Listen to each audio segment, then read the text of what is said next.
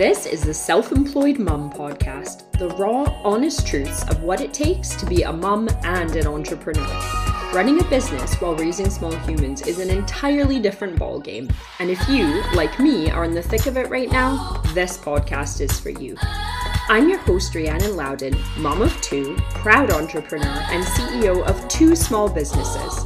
And my guests, women who are juggling all the plates, building businesses while raising the next generation. Thanks for tuning in, and don't forget to like, follow, and spread the word to help keep this podcast going. Now, on to today's episode.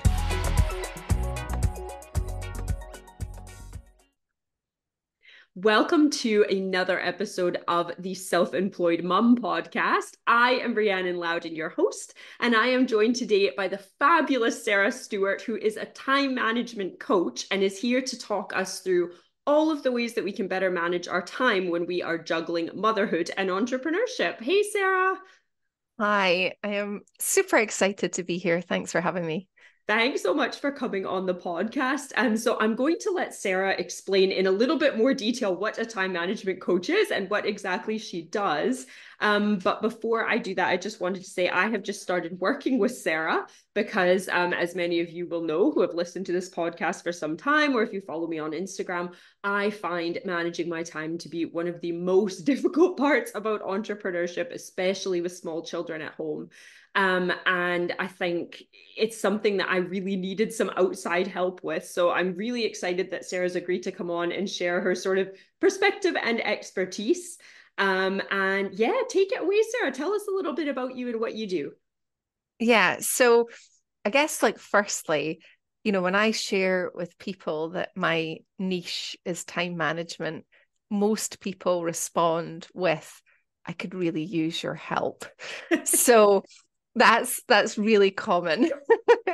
Um especially as you know um women in business with a family too like even more so because there's just there is a lot that you know we're we're juggling.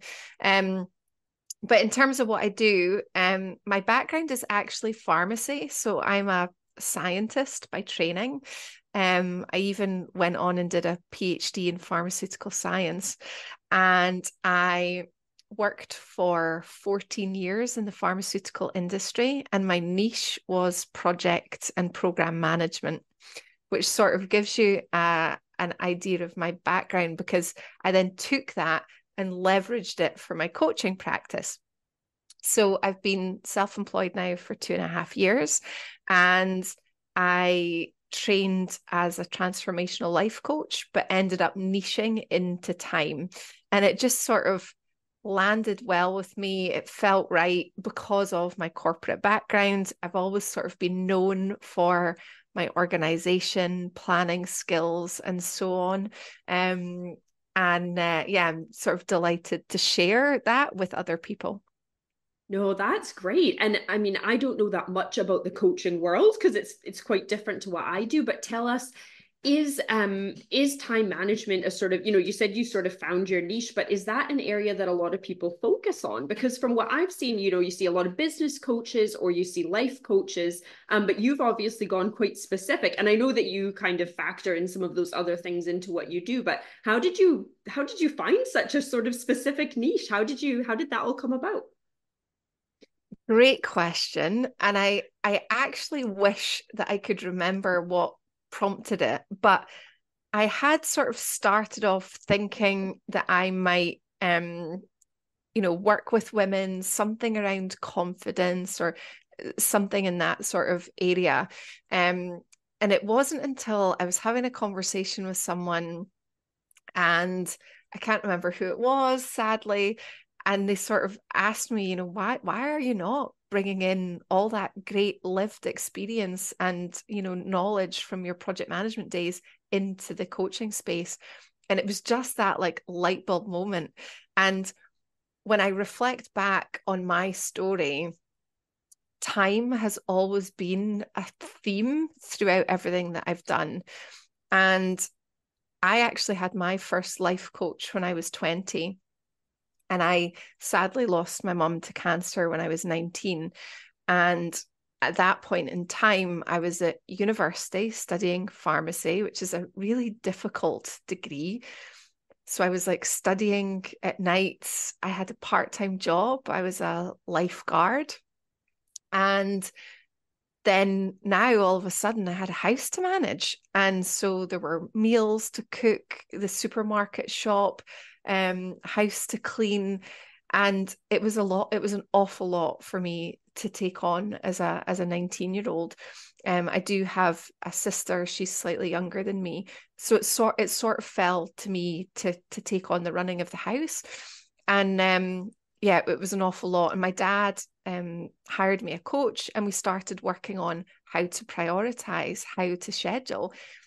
And it's like these fundamental skills do not get taught at school. Like, you know, I was never taught how to set up a calendar and best use my time. And so we started working on all of those different kinds of things.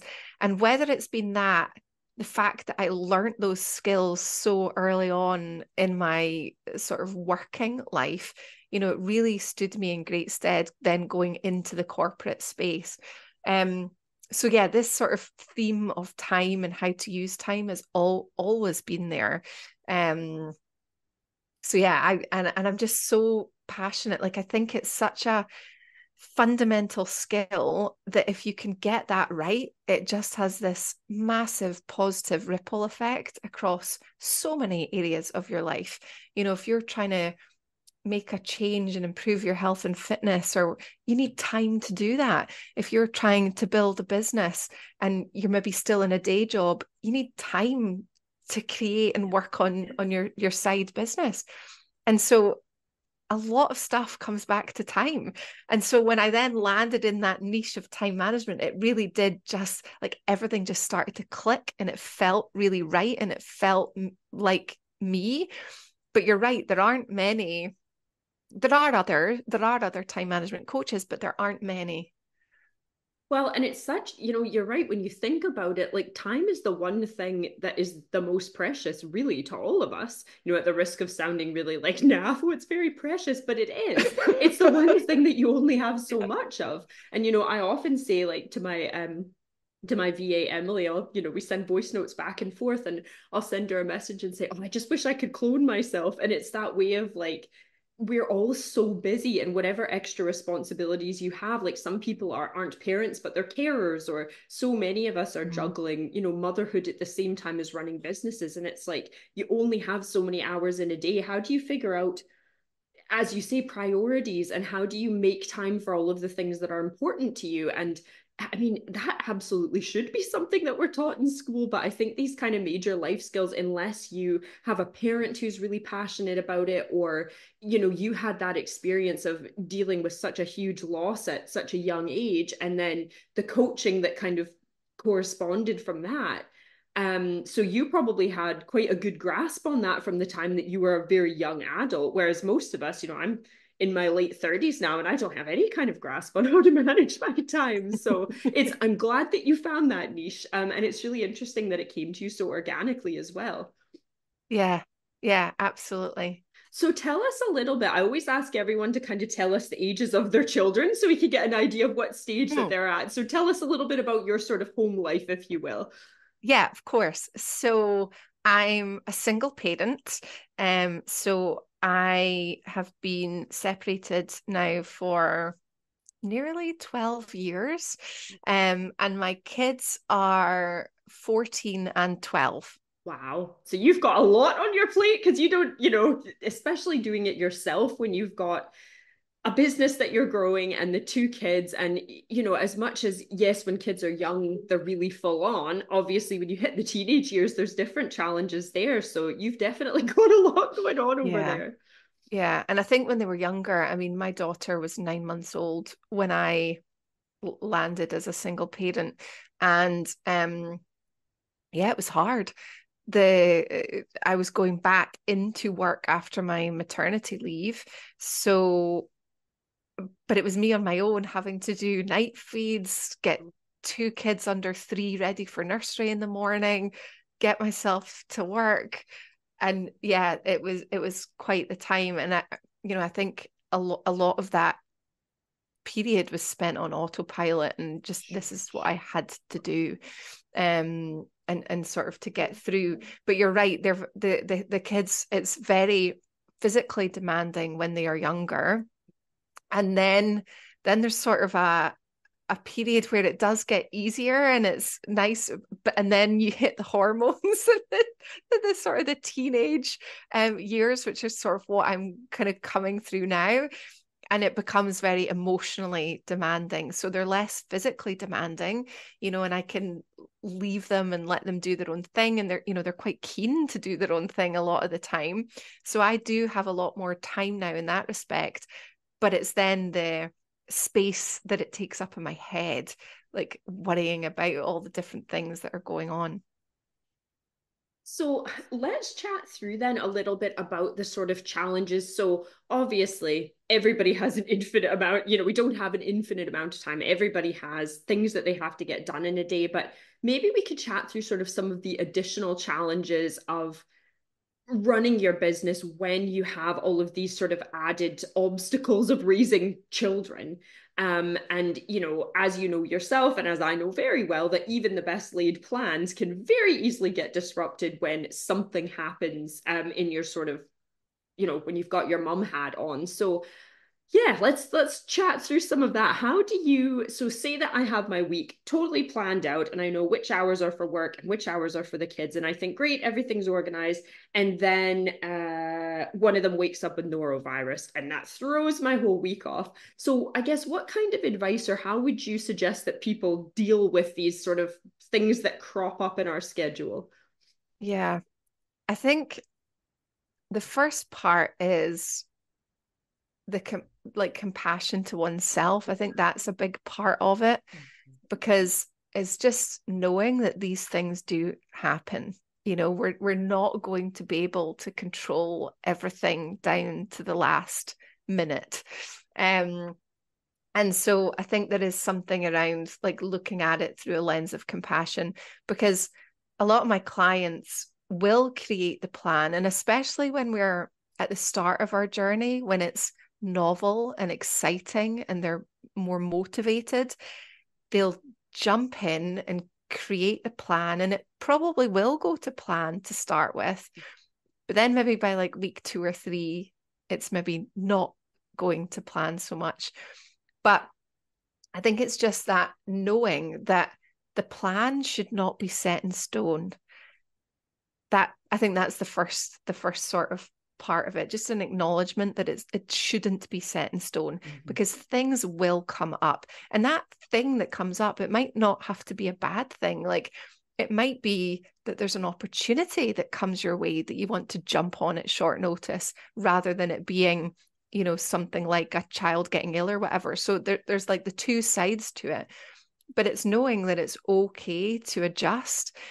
And i think for me you know i I think it's important to be zooming out and looking at the big picture as well as zooming in and looking at the week. Mm-hmm. So even if a week doesn't go to plan, it's knowing that across the quarter or that half of the year mm-hmm. that you know the direction that you're headed in, you've got the you know the activities in your schedule and so on that are going to take you closer to that goal and if you do have a week that, that doesn't go quite to plan, that's okay. No, that I love that idea too about sort of having a little bit of compassion for yourself because it's easy. I tend to like, what's the right word? Like disasterize things. So say that I had a full day of meetings and one of the girls wakes up and they're sick and I'm thinking like, oh, what am I going to do? I'm letting all of these people down. It looks unprofessional. I have to cancel on them. But the thing is, we're all human and most of the vast majority of my clients are also working mums mums running a business and so I mean, anytime I have had to reschedule meetings or explain, oh, there's going to be, you know, a sick one in the background watching, yeah. you know, the iPad or whatever where we're having the call, everyone's been really good about it because they've been there. And I think for me, part of that was finding the right kind of clients and because i speak on you know on my social media on my website i speak about being a mom and the added challenges and things like that i think the people that are drawn for me are people that are in a similar place in their life and do have that understanding and are willing to be flexible. And I mean, most people are reasonable. Like you might get the occasional person who isn't, but realistically, most of us know that life happens and things crop up. Yeah. And um, it's just hard not to get stuck in that, like, oh, things didn't go to plan and now my whole week's ruined. And I really like your point too on looking at the bigger picture. Well, maybe I didn't get all of these things done this week but if I look at the month or the quarter, that's not really that much of a setback. I can make up for that in the weeks to come. So I like that idea. That's putting a good positive spin on it as well. Yeah. Yeah. And I think, I mean, COVID in a sense has helped that you know it's shown a little bit more behind the scenes and you know we yeah. we did have to ad- adapt and work from home and there were kids going around you know i um even before COVID, I worked from home and I was in a global role with a pharmaceutical company and did a lot of work with America. And so my hours of work were quite different in the sense that, you know, I would be meeting in the morning with my European teams and then uh, having calls in the evening with the Americans. And even pre COVID, if it's the right company they get it yeah. and you know i can remember being on calls with with um you know other project teams and clients I was working on and you know they hear my kids in the background and but it was okay and it's and I think it is you know a lot a lot of this comes down to how we communicate like you said you know you're you share that that this is your experience and I do too and so I think it's then we we do attract the right kind of people yeah, I do. I think that's such a big part of it. I think what you said about COVID is really relevant too. Like, I've had this conversation with a few people lately about, I'm always kind of a little bit unsure about saying the good things that came out of COVID, because obviously there were loads of horrible things that happened.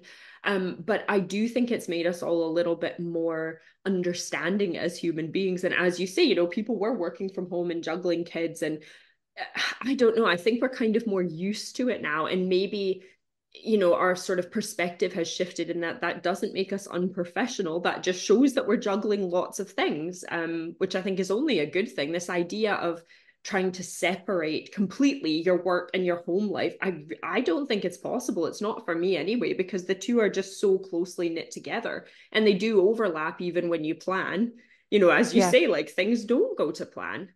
Um, and i wanted to ask your perspective on this too. So you were talking about you know um, understanding that maybe plans can't be set in stone because you are going to have to be flexible even more so when you have you know children at home um so do you think is there merit in maybe us what's the right way to put it filling our schedules a little less because where i find it the most difficult when things don't go to plan is when i have like scheduled every day to the max and there's no room for flexibility. So, is there sort of merit in trying to have flex time in your schedule so that if these things crop up, you can still kind of rejig things in any given week or month or whatever? Yeah. So, I very much don't pack my schedule back to back. Um, I think the white space and that buffer is needed especially when you are starting out on a journey looking at your time management, I think you're probably more likely going to need the buffer more then because most people they will overestimate what they can do in a day and they underestimate how long things are going to take. Mm-hmm. And so it does take some practice to learn how long it takes you to do things so that then you can then create a thoughtful and robust schedule that is going to work. And the more you do it and the more you practice, the easier it becomes. But I would say at the start, yes, you definitely want more white space. And I think, you know, there's also something around like working with your energy as well and being mindful of that. Mm-hmm. So I have got Crohn's disease and that also impacts my time, that impacts my energy, and that then needs to be reflected in my schedule. So there are instances where I know, you know, and, and sometimes it is out of our hands, and I might I might have a busy day of meetings, but then I know that maybe the next again day where things maybe more, you know, are more in my control, that I can take that back and make sure that I've got more white space and you know blocking out like next week I know I've got a couple of half days blocked out just purely to rest and that's okay. Yeah, and I, I like what you're saying there because I think for so many people they almost feel guilty when when they it's like oh that time should be if it's not attributed to my kids it should be attributed to work and it's being able to take that time guilt free because you need it and you know yourself if you don't take care of yourself you can't take care of your business or your family um yeah. but yeah if I, I think... if i push and push and push myself mm-hmm. to keep going which is what i used to do i would make myself ill and then when I kept trying to push through, things would take much longer to execute because my my I wasn't quite in the game. I wasn't in the right headspace. So taking that time to rest is important. And I think also, you know, if you're in a mm. creative role, there's also something around giving yourself permission to take time to fuel your creativity. You know, maybe that looks like going to the art gallery or going out for a walk. And, you know, it's, I normally find it's on the dog walk and things are, are maybe a bit quieter. That's when I have my great ideas. I totally agree with you. I think um, I'm quite guilty of that, of feeling like, oh, I can't take this time away from work. But I'm the same. I walk, I walk the dog in the morning before I start my work day, and quite often that is when the good ideas come through. I'll think of like, oh, it'd be great to do a post about that, or oh, you know, I, I don't know. It's weird how it comes to you when, or maybe it's not weird. You know, these things come to us when we're not sitting in this formal spot at our desk. Um, I'm also quite I struggle to fall asleep. Like I'm a total night owl and I find it really hard to fall asleep at night. And I find that's when a lot of my ideas come to me as well. And I don't know if that's because it's finally quiet. Like I've been working all day and getting the kids off to bed, and quite often going back and doing some work in the evenings. Then I'll read for a bit. And then it's kind of like, okay, finally, there's no distractions. I'm not consuming any content. There's no noise. And it's like my brain just goes and goes. So quite often I'll add like a note uh, in the note section of my phone, or sometimes I'll jot something down in the notebook beside my bed. It's just kind of funny how we need i think you're right we need that kind of rest and quiet time yeah. in order to be creative yeah exactly and see what you were saying about the sort of health eh, how your health really affects your time i think so you've got crohn's disease which is obviously a, a big thing a big added sort of obstacle and challenge for you and i've got pcos so less so in terms of the physical stuff but my hormone levels are completely out of whack. My cortisol is always really high, and it's always trying to balance that out with exercise and what I eat and trying to manage stress and all of these things that are really hard to stay on top of when you're busy and trying to juggle all of these things. But even for women who don't have maybe these added sort of health challenges, our hormones fluctuate so much during the month and I feel that the sort of working world is very set up for men who have very little hormone fluctuation. And I've I've started kind of following a few people on Instagram who talk about this idea of trying to schedule your month based on energy levels. Mm. Um, and you know, most of us kind of have a, a rough idea, like, well, this week I'll be feeling really productive and I'll be really go get it. And this week I'll be really struggling to maybe talk to people or be creative or whatever and trying to plan your month around that. Do you think there's any merit, or do you think that's even possible when you run a business and you're wearing so many hats? I think it's definitely worth investigating. Like I, you know, and I I do encourage a lot of my clients to sort of try and adopt the mindset of a scientist. And and yes, it's because I am a scientist, or at least I was a scientist, you know, but it's and it probably comes very naturally to me. Um, you know, in that we try things and we test it and if it doesn't work that's okay but we're we're sort of keeping track and making small adjustments and reflecting like you know to me that's that's something that should be done mm-hmm. um i have been over the last must be maybe the yeah this year paying more attention to the the times of the month and re- recording that. But for me personally i don't really notice a difference in my energy in terms of hormone uh, uh, from that sort of angle. But i do know others that it that it does. And Um, so I think it is worthwhile having a look at in case it's something that's relevant to you. And whether that does then look like, you know, you're scheduling a couple of days of quiet time or admin or things that don't take up excuse me things that don't take up a lot of energy yeah. um, or thinking time you know and can you schedule those at the relevant time of the month mm-hmm. then yeah I, I think give it a try and see if that works I like this idea of kind of playing a scientist in your own life and and really paying attention because you're right it will be different for everybody.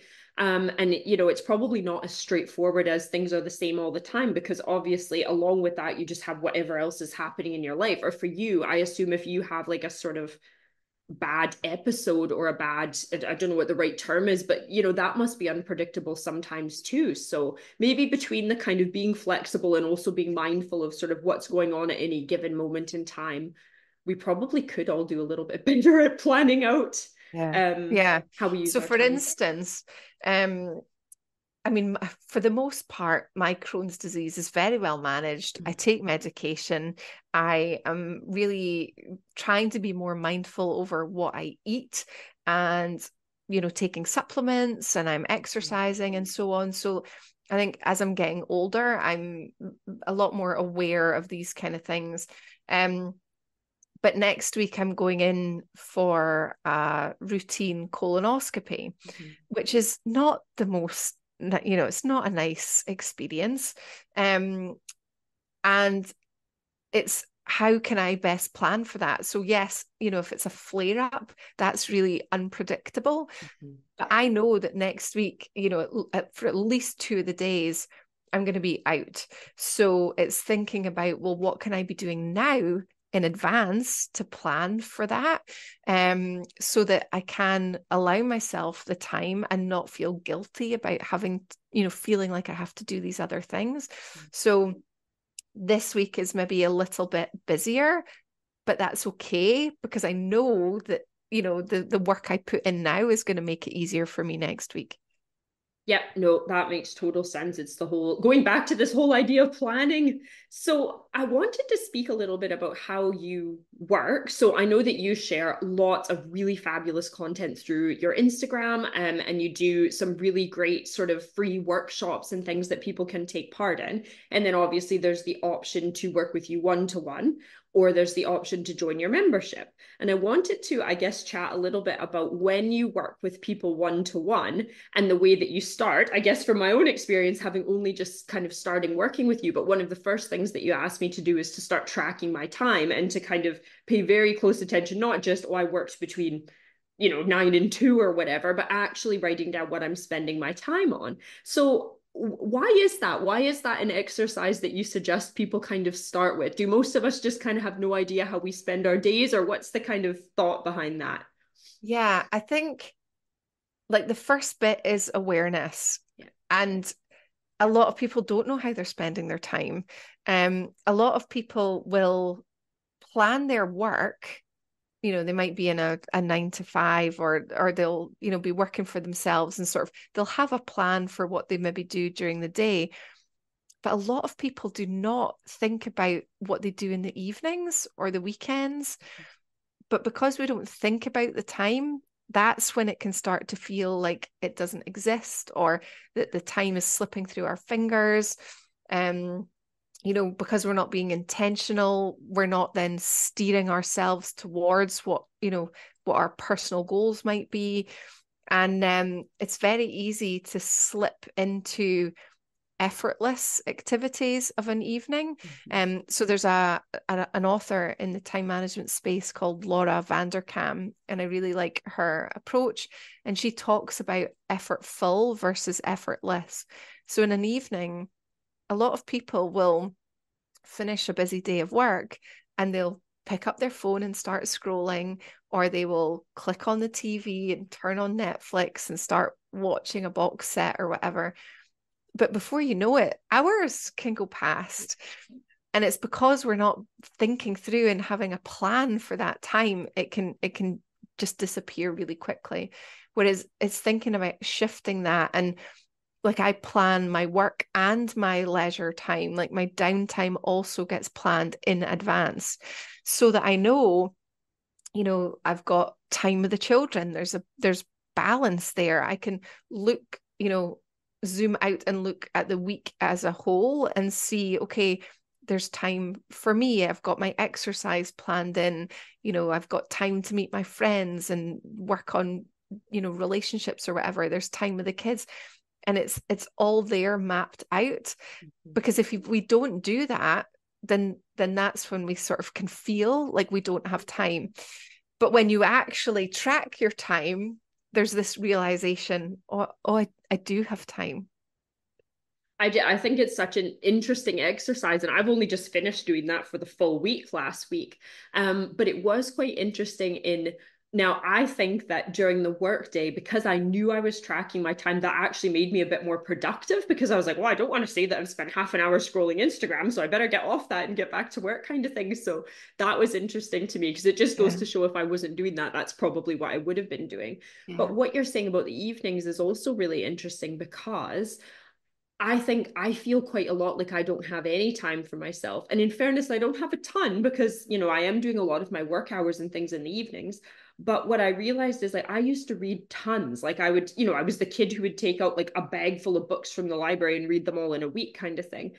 And as I've gotten older, because I'm tired at the end of the day, I think I have just defaulted to, as you say, putting something on Netflix that I've already watched and I'm only half paying attention to and then all of a sudden I'm like, oh, it's midnight. I should go to bed. And I haven't really felt like I've had, you know, I mean, it's fine to have downtime and watch TV, but I haven't, it, it doesn't feel like an active choice. And it just feels almost like I've thrown those few hours away.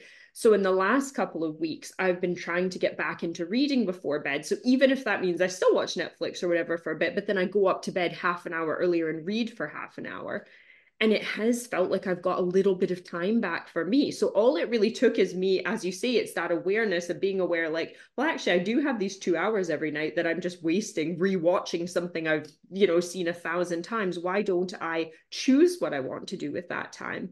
Um, so yeah, that the awareness thing is interesting. And the other thing that I thought was really interesting, you mentioned it kind of earlier in our conversation about how long things take and how most of us sort of underestimate how long a task takes. But on the other side of that, I have heard you speak, whether it was, I can't remember if it was maybe at an event or if you shared it on your Instagram. And is it called, is it Parkinson's Law? Right. So yeah, tell us Parkinson's about that because I think this is super interesting. So Parkinson's law essentially states that the, the the task will fill the time that you allocate to it. Hmm. So um you know a lot a lot of people will either give themselves too much time to complete something and we you know and or or they don't know how long something takes. And maybe you know you're working to a to-do list and you don't have a time blocked calendar for example. So then if you've got something on your to-do list and you're working on it you'll you'll probably spend a lot longer working on it than what you might have done if you'd actually blocked out the time and given yourself a deadline. Um and it's thinking about can you then push yourself to bring in the amount of time that you're spending on things? You know so i i've in the past you know maybe blocked out 2 hours to write a blog post for example. Mm-hmm. whereas if i push myself i can i can actually do it quicker than that. And if i if i give myself an hour it will get done in the hour think that's so interesting. So I am someone who up until this point has very much just had a to-do list for the week and I might roughly say I'm going to do this this day and that day, but I didn't time block things out. And I'm also very bad for procrastinating. And I don't know if this is like a neurodivergent thing. I'm still sort of investigating that or if that's just a I don't know, a bit of a personality trait or what, but I always leave things, especially the things that I don't love to do or that I find tedious till the last minute. And it's interesting how if I do that, say I said that I would send something to you this week and all of a sudden it's Friday morning and I've not done it, then I'm like, I've only got three hours to get this done and I can do it. But the thing is, I could have done that in the three hours on Monday, but I leave it and then it causes anxiety and stress because it's sitting over, you know, it's kind of playing over and over in my head all these things I have to do. And I promised I get it done by this time. And realistically, yeah, if I work to a deadline, I can get things done quickly. but I guess it's maybe getting in the habit of saying, okay, well, I'm going to do this on Monday in these three hours rather than going, oh, I have all week to do it and then just not getting it done. I don't know why yeah. my brain works that way, but um, yeah, it's interesting that time blocking rather than just a to do list can make a big difference. Yeah. I mean, everyone's obviously different in the in the way that they're they're wired and the way their brain thinks which is why i always sort of come back to this try it act like a scientist see what, what works because it's not going to be a cookie cutter thing and it's not going to be the way that i work works for you. And you know when it comes to time management and productivity like there are so many books. I mean i've got loads of them behind me on the bookshelf. Like there's so many books there's so many different approaches and thoughts on things. Mm-hmm. And and and some will work and some might not um so yeah it's it's trying it on but i think for me, it's thinking about that workflow. So a lot of people will try and retain in their head what it is that they're they've to do. And that can cause the overwhelm if you're retaining stuff in your head. Mm-hmm. So for me, it's thinking about having that one source of truth, your master to do list, everything that you need to do is in that one place. But that in itself can be overwhelming, having mm-hmm. a big, you know, especially if it's personal life, kids, work, like put all that together and it's a lot. Um, but it's then thinking about okay, how do we prioritize that master to do list? How can we you know streamline that how what is it that's needed to be done this week but the next bit is putting it into the schedule because when you look at your week to view and i like to block out my like morning routine and my sort of evening wind down and when you see it in black and white like that, the amount of time that you've got during the day, you there might be three, four things you need to do that week. And yes, if you then leave it to the Friday, you would probably get it done. But it's if you look holistically at the calendar, it's showing you that it's it's actually not going to work if you leave all that stuff to the Friday because you can see it there in black and white. And so it's then thinking about being really strategic with where you put the tasks and the blocks. Again, coming back to energy and so on. Like I know I work best in the mornings. So that's when I tend to carve out the deep thinking that I need to do. Or um, whereas in the afternoons, you know, it might be there's some tasks that I can do that are pretty straightforward that don't need lots of thinking. Um, one of the other things actually that a client of mine does, um, particularly when kids are younger, is she had two lists where she had tasks that she had to be on her own to do, where she maybe needed thinking time and so on, versus tasks that she could do when the kids were around. And then you can then start to plan your schedule on the basis of, okay, you know, Tuesday is my day with the kids. So that's the day that I need to fit these tasks in from this um, list that can be done when they're there versus, okay, I've got four hours on a Thursday when they're at nursery. And so that's the day that I'm going to plug in the tasks that I need to focus. That's interesting. I like that idea because there are definitely things like, and for me, like my youngest daughter's two and my older daughter's six. So, you know, Charlotte's the older one. If Charlotte's home, she'll sit and play for a bit by herself, or she can have some time on the iPad, or she can watch a show or whatever and I know that if I'm not quite finished, say editing something, I can do that, and she can actually sit right here beside me, and you know, and it and it works. But with Poppy being two, the hours that Poppy's at home, there's no chance I'm getting anything done at the computer. But then I can maybe use that time to fold some laundry, or so I really like that idea and trying to plan your week that way.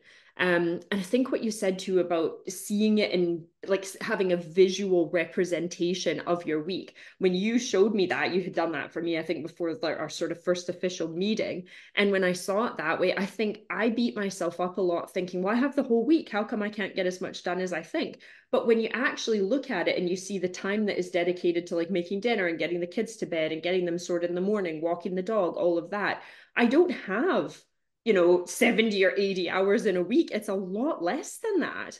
Yeah. Um and it, you know what you said too about blocking out like your morning and your evening routine um miriam is the pt that i've been working with since my oldest was quite young and she was very much from the start like listen it's hard to fit workouts in when you're busy so you have to treat it like a meeting. So she that's her suggestion was to schedule it in like an appointment. And so it i don't always go on the same days. It, it kind of depends on what i have on in a week. But at the kind of end of, on a sunday if i look and go okay so i'm going to go wednesday evening thursday afternoon whatever and slot it in i'm way more likely to go. Whereas if i just say i'm going to make sure i get to the gym three times this week it often yeah. falls by the wayside. So it's funny, you know, I was able to implement that, but I never thought about doing that for for a to-do list. I've always just kept that really open. Yeah.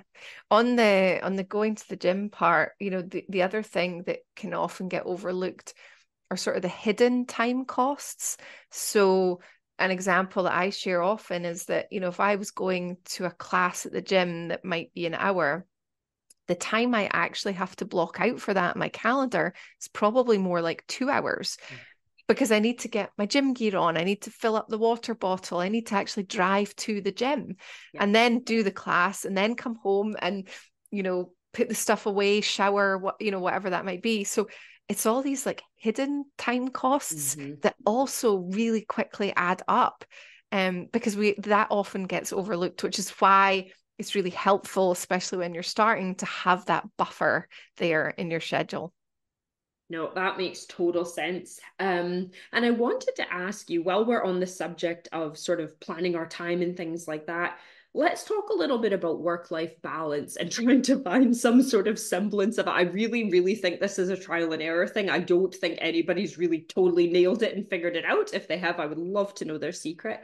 Um, but is there a way that sort of being more aware and planning our time better can help to kind of bridge that gap between work and and, and non-work lifestyle stuff. Yeah well i think i think so. Um the the author Cal New, Newport he shares that um, if you time block your schedule, you can get the same output from a forty hour time blocked work week compared to a sixty plus hour unstructured work week. So by planning in advance, you're actually able to create more time. Mm-hmm. And then that more time that you're creating, you can choose what what you do with it. I mean, m- most weeks I volunteer. So in addition to the kids and the work and and and stuff, I like giving is important to me and i you know with my story with losing my mom i i volunteer at the local hospice and i do that most wednesdays but I've been able to do that because I plan advance. Like I'm, I'm really intentional with my time. And it might be, you know, for me, that time volunteering is self-care. Like I really enjoy it. It yes, the the the people that are there I um I do mindfulness meditations for the outpatients at the hospice and yes they take a lot from it but I also take a lot from it. Like I, you know, I really enjoy that time. So whatever the the self-care looks like for you, planning in advance can help you do that. Yeah, and that's such a good point about the volunteering because I think I do some volunteer work uh, sort of with the other side of my business, the wedding and family stuff. And it's a charity that sets photographers up with families who have either had um, a, stillborn baby or a baby who is born and not meant to survive. And it's essentially remembrance photography going in and getting some photos with the baby. And yeah. it's, you know, it's something that I started doing when my well, was she even born yet? I'm trying to remember. I've done it for years, but I, you know, there are session requests often, and quite often my schedule is so full, I can't fit it in anywhere. And I would like to be able to help out and do things like that more or you know to have a little bit more time to to play with if you will and as you say it's your choice how you spend it but you know i i don't want to be someone who's too busy to do any of these extra things or to help out. I want to make sure that there's flexibility. So i really i really like that idea about how you can you know be more productive in 40 hours than 60 yeah yeah because that's that's a massive difference of 20 hours. Yeah. That's huge. And you know the other thing for me that's been massive is thinking about your environment. Um mm-hmm because that can also have a massive impact on your time. You know, my space is pretty decluttered. I know where things are. Like, you know, the stats show that we can waste a lot of time searching for things. Yeah. You know, even if that's digitally looking for files, um, that can take up a lot of time. Um, and because my environment is decluttered, it's less time to clean. Um, so there's all these different little things. Um, the other big one is like making decisions. So again, that can take up time and headspace. You know, if you're like putting off a decision and then it's there preying on your mind, you know, until you then take action. But um thinking about what can you be doing to reduce the number of decisions you have to make you know it's it's been shown that we on average spend 3 hours a day deciding what to wear what to watch what to eat and what time to go to bed those four things seemingly can take on average 3 hours a day which again i like i just find that wild so like you know i have a minimal wardrobe. Like I, I don't spend ages deciding what to wear. I, I don't watch TV all that much. You know, if I am watching TV, it's normally something that's been recommended. So I, I know it's going to be good. And then I also don't spend an hour looking through all the shows in Netflix to make up my mind, yep. you know? Um, but it's all all these like little things. Yeah. Yeah. And you know, I've noticed that I guess this is maybe quite a specific, but see with content planning, for example. So I used to kind of just like not have any structure in place, which is really bad because one of the services I offer is strategy and helping people figure out what to post. So probably not great that I was taking my own advice, but you know how it goes. You get busy and you help everyone else and then yeah. you don't do it for your own business. So since I have sort of had a plan in place, so at the sort of end of every month, I just have a paper calendar and I'll slot in like I'm going to talk about this on this day and that on that day. And I don't always have all of my content pre written and scheduled, but at least when I sit down at my desk, even if I haven't written that content, at least I know what I'm writing. Because what I was finding is exactly what you're saying there. It was the decision. So if I sat down and I had no idea what I was going to do, I would maybe go look at, oh, what shoots have I done recently? Or what have I not talked about for a while? And I'd go look at my feed and I'd I'd probably waste half an hour just trying to decide what to write. Whereas if I sit down and I already know what I'm writing, it only takes me 10 minutes to write it. So I yeah. I think you're right. I can already see like my head's just worrying with all of the things that I could do that if I sort of better planned it out, I wouldn't waste the extra, you know, things wouldn't take twice as long because I have to make the decision. Yeah. So yeah, so there's all those different kind of things. And then you know the other thing when it comes back to the self-care like thinking about making the appointment with yourself so it's very easy to push out a bath or push out a walk or um you know going to the gym on your own. That it's very very easy to just say oh, i'm too busy and it comes out with a plan. So again with clients when we're starting out and we're trying to build this muscle of you know planning and self-discipline and and and and making the time for these things it's actually to book the appointment. So if i if i have funds and i am able to i'll book myself an appointment for a massage. And i'm not going to then dismiss that. So then i know okay this month i've actually got something to look mm. forward to and the self-care happens.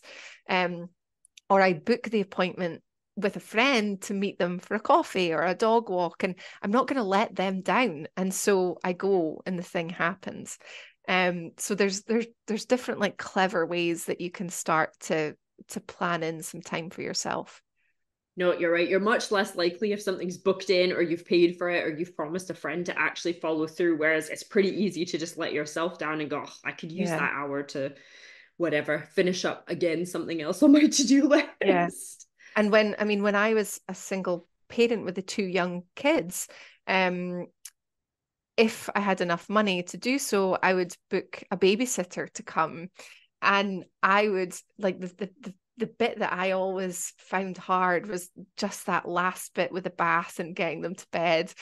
And um, you know, by that point I was tired and it just the kids were getting fractious and it, it just was was never my favorite time of day. So and it, it wasn't like often, but I would book a babysitter. I would take my magazine, go off to the local cafe, have two hours to myself to read in peace. And then I would come back and they were in bed and it was bliss. That's perfect because I don't know. I mean, I find it hard. My husband's really good. He's very kind of active. He actually tends to do more of the bedtime and bath time because I do more in the morning and drop offs and all of that, which is great. But even then, I find it quite difficult. I'm the same as you by the end of the day. Like my patience is worn thin. I'm tired. I just kind of want some peace and quiet. Um, so I can, yeah, um, hats off to anybody that's kind of dealing with all of those daily routines themselves because. Yeah. I find it quite difficult sometimes. And I guess it depends too. Like, you know, I am not a routine person. So having kids to me has, that's been one of the most challenging things is realizing that they do need a bit more of a routine and that you know I have to get up at this time every day to make sure that one gets off to school and the other gets off to nursery and I I don't know I find that routine really really difficult but you know maybe it's not a bad thing that having kids has sort of forced me to have a little bit of routine in my life because I think probably in terms of managing your time better, a routine is helpful, would you say, or at least a sort of semblance of a schedule? So again, everyone is different. Like I do I do have clients that struggle with routine, mm-hmm. but I think I I personally believe a bit of routine is probably needed, even if it's even if it's just the sort of planning in advance being the routine. Um because I also think, you know, planning in advance doesn't necessarily need to take away the spontaneity or, you know, you're actually going to make more time for fun if you plan in advance. Yeah. So it's trying to like shift that mindset around it that it's, you know, it's not something that's um you know it doesn't have to be something difficult it doesn't have to like make your life boring it actually creates more time for the fun stuff so it's trying to see if you can shift that that mindset i think is really important so we have covered loads. We've talked about sort of planning out your time and being flexible and being kind to yourself, making time for self-care, you know, figuring out a little bit of a work-life balance and you know, going back again to what you said about doing a little bit of trial and error and playing the scientist and just trying different things to see what works. Is there anything else that you would kind of recommend for anybody who is feeling the sort of overwhelm of of trying to plan out their week is there anything that we kind of haven't covered that is a major um major bit of advice or or a good starting point or anything else you want to share on that I think the awareness is the is the real first step. I think that's a big part of it. And if you were to ask people that feel like they've got enough time what what the key is they're intentional with their time mm. and they they know where their time goes like it's yeah it's the planning in advance. Um so i think that i think the first step is actually figuring out where you are now. And then maybe the next step from that is giving some consideration around well where would you like to be? And once you know where you are and where you'd like to be and, and i mean this can be applied to all sorts of different things but in intention in, with respect to your time it's thinking about where you are now where you want to go and then just what are the little steps that you can start to take that will you know always have that ideal week in your mind and see if you can keep nudging yourself closer to it. Perfect well, before I get you to kind of tell us where we can find you online and things like that, I'm putting you on the spot a little bit here because I don't think I prepped you for this. But, you know, since I've kind of shifted the podcast over to focus more on like motherhood and entrepreneurship specifically, I thought it would be a good kind of bit of bit of honest truth to ask all of my guests what do you find the most difficult thing about juggling entrepreneurship and raising children what's the hardest or the biggest challenge you find Oh, you can think for a minute, don't worry. yeah, the biggest challenge. I mean, there are loads and it'll be different for everybody. But I'm just, I'm especially interested in your point of view because I think managing my time for me is probably the trickiest bit. But you're obviously quite good at that. That is what you do. So I'm curious to know what you find kind of yeah. the most difficult. I think it's probably the prioritization piece is the hard bit because I love what I do. I I love my work and I I could quite happily spend hours and hours doing it. but it's then making sure that I am spending enough time with the kids and having the quality time with them. And, you know, I've seen me be out doing work stuff, but then have to cut it short, or I get a phone call, or I'm, you know, the kids need me and it's having to drop the work stuff to come and and be there for the children. Um, so yeah i think probably something around the prioritization is is maybe the biggest challenge because it's definitely not time like i i do feel like i have enough time enough time to get you know the important stuff done i think that's the big part too you know we're not we're not going to be able to do it all yeah. or at least we're not going to be able to do it all to the like stepford wife you know perfection. And it's thinking about okay what well what does good look like for me? Mm-hmm. and being okay with that. Um yeah I, I, that's part of it as well. But yeah prioritization i think is probably the the the bit yeah, that's super relatable because I'm the same. I'm so excited about my business. And not that I haven't always been, but especially in the last kind of year or two, I feel like I really figured out like what I want to do and I've really niched down and I'm really excited. I've got all these big ideas in my head. And I find it really hard sometimes to stop and like just go and have that time with the kids. And it's not that I don't enjoy my time with them. I, I love hanging out with them, but it's just that way of like when you are really excited and you love what you do and you're super passionate about it, it's saying, okay, but I've done enough of that for today. Now it's time to do this.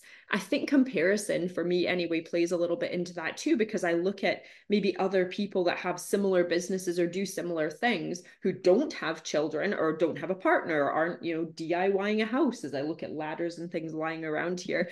and I see them doing all of these things and I'm thinking, I want to do that. Or how are they finding the time to do all of that? And, you know, I think it's sometimes coming back to this idea about priorities and remembering that I set those priorities. Like nobody yeah. else is saying that I have to have that time as a mom or that, you know, I I need to only have Poppy in nursery these many days and have the time with her. Like I've made that decision because it's what I want. And I think going back to that idea of like what's important to me, what does success look like to me? Because it's not the same as, you know, success to somebody else. So I think yeah that ties into that as well. It's looking at what everybody else is doing and trying to stick with your own plan and your own goals. Yeah. Yeah. And it will change as well, you know, and and the, the kids grow older and you know you you do get more time and um so yeah, I think it's just the the power of reflection is also really good. Mm-hmm. Um yeah, and and figuring out like you say like what what is it that is most important at this point in time for this season for this year and kind of go from there Perfect. Well, I better let you go. Speaking of time management, I have probably kept you for longer than promised. So before we do say goodbye, though, can you um, just tell us a little bit about how people can find you online and how they can work with you? Obviously, I'll put this in the show notes as well, but yeah. So my website is sarahstewart.co.uk. Um, and my surname is Stewart, E W A R T. And um, I've got a blog that I write. So there's loads of great articles and things in there, which are, are normally a good place to start. And then I'm also very active on Instagram. My handle is sarahstewart.co.uk, same as my website. Um, so there are probably the two places that I would suggest people go to.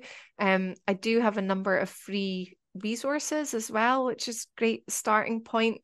Um, and I, uh, you know, as you mentioned, I think at the start, I, I run like one-off free workshops every now and then. So that's the type of thing that I would be sharing with um my Instagram followers. Um, and then lastly, I write a email newsletter that goes out every week and there's normally a time management tip on the end of that. So you can get onto my mailing list through my website. That is perfect. And just really quickly before you go, the ways that people can work with you. So I know you have tons of free resources, which is fab, especially if people are just starting to kind of delve into this. But if they did want to work with you, what are the kind of ways they can do that? Yeah. So I run a time audit session, which is a one off one hour. Um, and we circle back and do a little 30 minute check in a couple of weeks after, just for like accountability, if there's any questions and so on. Um, then I run a membership. So it is a year long membership where you get access to monthly calls. There's a live community, but there's also the member private members area on my website that's got even more resources. All of the tools and templates I use to to manage and organize my business are there.